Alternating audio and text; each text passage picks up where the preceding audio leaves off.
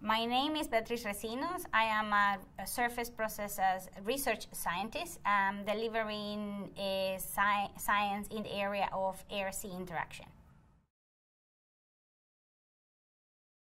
I work on the development and, and documentation of marine meteorological data um, trying to um, assess the uncertainty on uh, meteorological data that is being measured directly in the ocean uh, via ship uh, meteorological stations, um, buoys, or any other instrument, in situ instrument um, in, um, uh, deployed in the sea. So basically, I try to understand those records of meteorological data and, and see what errors they might have due to um, a, a instrumentation errors or other systematical errors. And, and what we want is to, with those um, measurements um, uh, that are being taken directly in the ocean, we want to construct a long-term record of air temperature over the ocean. And this will help us understand how the ocean is warming and also how these warming temperatures affect the cryosphere and the ocean. My background is in large scale glacier modeling. So I develop, I helped develop the first open source um, global glacier model written in Python. So I learned a lot of programming. Um, and um, this basically, during my PhD, I um, contribute to this uh, software that simulates glacier dynamics and the changes of the glaciers um, uh, due to rising temperatures. And I specialize in the interaction between the ocean and the glaciers and how the rising temperatures in the ocean affect how the ice moves uh, from the um, from the glacier to the ocean, and that it, and uh, and try to measure how much of this uh, ice will contribute to sea level rise. So I'm originally from El Salvador, and I study physics um, back home. I earn a lot of scholarships, um, one to study in the US, and then another one to do my master's in Europe. So I did an Erasmus Mundus master courses, which was called Marine Environment and Resources. And every six months, we study in a different country uh, in, in Europe, in a different university. I did my last semester here at the University of Southampton at the NOC. And after that, I uh, decided to do a PhD um, in polar research in Germany. And um, after graduating from my PhD, then I came to work for the National Oceanography Center.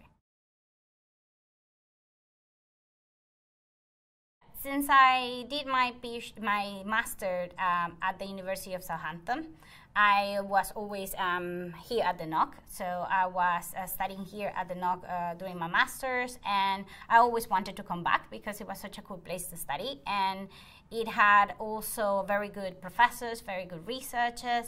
And after I did my PhD and, and I moved to the UK, I really uh, set myself the goal to find a job at the NOC. So I try. Um, I applied for an, in, an interview and I got it, and I was really happy to, to come and work for, for the Surface Processes Group because they they deliver this type of research that I'm very interested in, which is this um, constructing long term of um, global temperature records, uh, which is, uh, is, is key to understand any changes in our planet, like in the cryosphere um, and and in the oceans.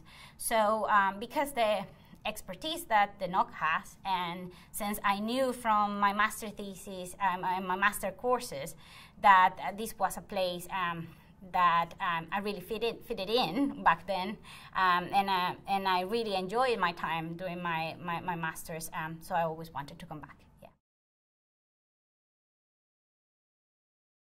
For me, the biggest um, interested, in, well, what I'm most interested in is um, not just sea surface temperature, but also the whole global um, temperature record.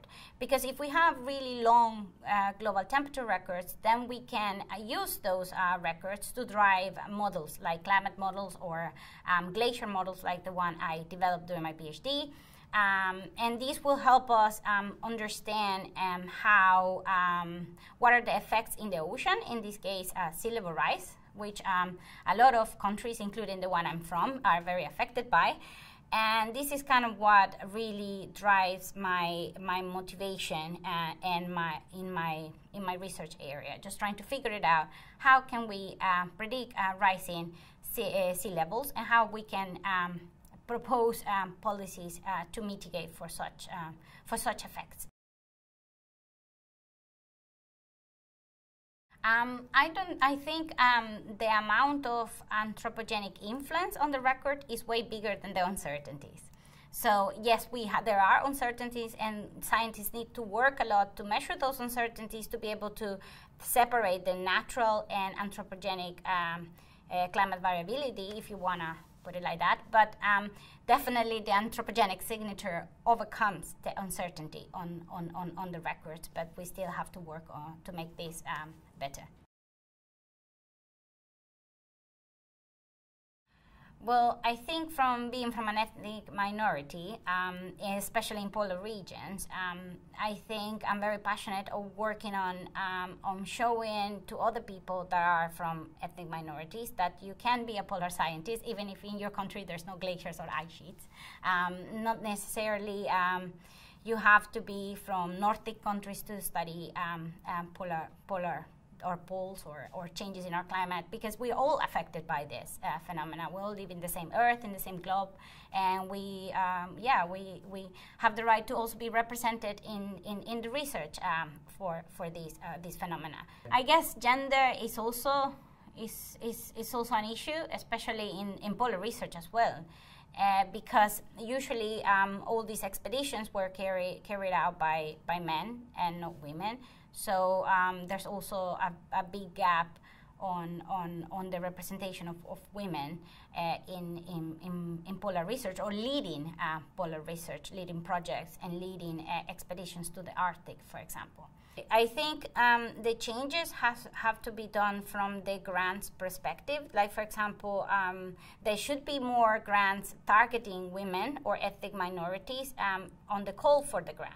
So, um, so then we know that we can apply to something, and that um, that grant uh, they will consider um, only women or only uh, ethnic minorities uh, to, to, earn that grant. So it, it, comes from from from the from the organiza- the big organizations that um, that that sponsor science, and, and, and the change should come from them to to, to target um, uh, yeah gender equality and and ethnic equality.